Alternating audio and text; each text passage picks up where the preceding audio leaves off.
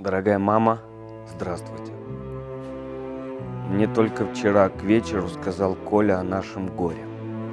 Да, утеря отца – это большая для нас потеря, но что поделать, война. И мы не одни такие. Мы здесь будем беречь себя, чтобы доставлять вам радость по окончании войны и обеспечим вам счастливую жизнь. А вы должны беречь себя, чтобы не оставить нас одинокими. Маленький фронтовой треугольничек. Его с нетерпением ждали и на фронте, и в тылу. Письма шли и в голод, и в холод, и под обстрелами, даже во время блокады Ленинграда и осады Севастополя. Сегодня эти обветшалые конверты бережно сохраненные в областном краеведческом музее «Память». Память о событиях тех лет, о людях и их непридуманных личных историях. Берегите свое здоровье.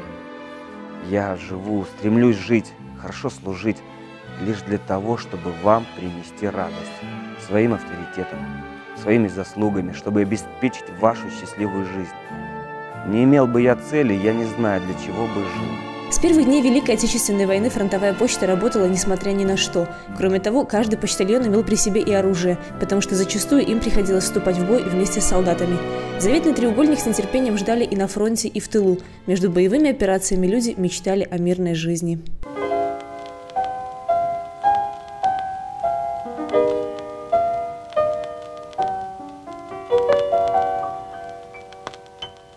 Привет свой шлю тебе, раюшка, весенний. Природа вступила в свои права, солнце светит по-весеннему, и вместе с весной сердце рвется к любимой, где весной так счастливо живет все живое.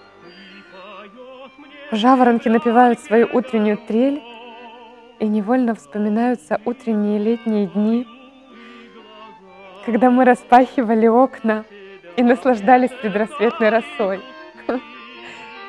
Да. Есть о чем вспомнить, есть о чем помечтать, но вместе с тем есть и о чем погрустить. Здесь, на фронте, где обстановка заставляет отбросить все, где жизнь ничто для того, чтобы достичь цели, в эти бурные минуты из головы не выходят любимая с нашим маленьким сыночком.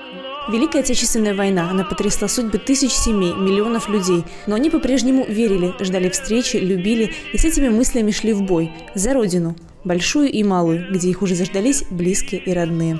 Ты пишешь, что, возможно, попадешь в Суворовское училище. Ладно. Только если будет возможность, не иди в пехоту. Старайся попасть в артиллерию. Здесь твой отец артиллерист. Твой брат тоже воюет в артиллерии. И раз тебе приходится идти в армию, попросись в артиллерию. Дорогой братишка, опиши мне подробно, как идет ваша жизнь. Как мне хочется сейчас видеть тебя, маму, всех родных, соседей и знакомых. Хочется видеть свой дом, свою деревню, свою школу и учителей – поле, лес, все. Все, что сопровождало мое детство, где я рос и учился. История в конвертах, кусочек судьбы, военная жизнь. Великая победа досталась советскому народу большой ценой. Ее седовласые герои до сих пор в своих снах возвращаются в то время. Как бы ни было страшно, трагические сороковые стали годами их молодости, которую уже не вернешь. У меня пока все. Жду с нетерпением от вас писем. Пока. До свидания, дорогой. С пламенным приветом, Антон.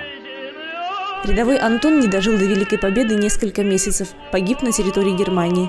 Юношеским мечтам так и суждено было остаться на этом небольшом клочке бумаги, а песня души и юности перешла нам, как напоминание о несбывшихся мечтах и о том, что благодаря этим людям мы имеем сегодня. Но радостно героев родимая наша земля.